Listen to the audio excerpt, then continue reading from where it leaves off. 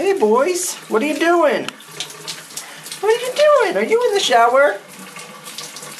Isaac, what do you think?